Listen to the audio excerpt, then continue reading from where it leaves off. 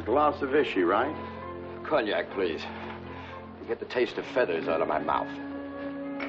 Little birdie, pretty little birdie, little birdie, fly away with me.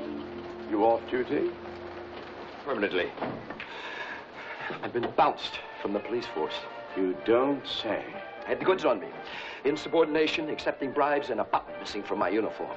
So they took away my medal. Threw me out of the barracks. Reminds me of when I was drummed out of the army.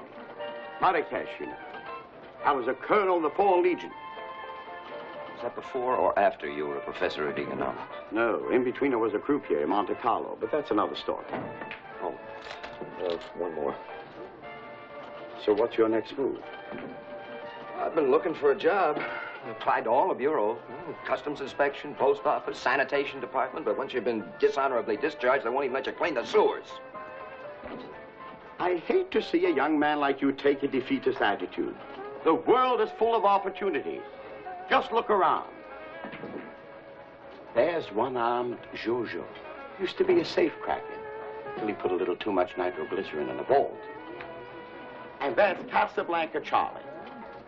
Five years ago, he walked in here with holes in his shoes and a pocket full of dirty postcards. Or take the Ox. Used to be a purse snatcher around the market. They all started at the bottom. But they had perseverance and drive and vision. Now they've got it made. They're retired. They let their girls work for them. Well, I'm afraid I wasn't cut out for a life of crime. There you go, selling yourself short. Oh, maybe I could snatch a purse or crack a small safe, but to sit around in a striped suit while some girl out in the street, it, I've never. You're being petit bourgeois again. Life is total war, my friend.